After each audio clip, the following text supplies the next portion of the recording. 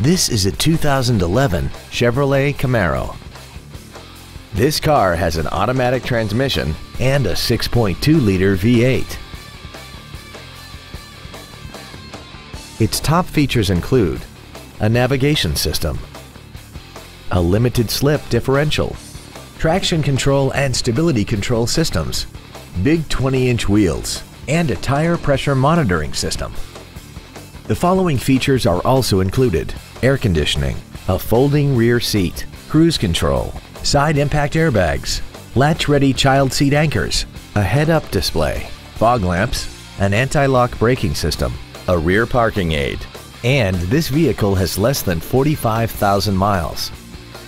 Please call us today for more information on this great vehicle.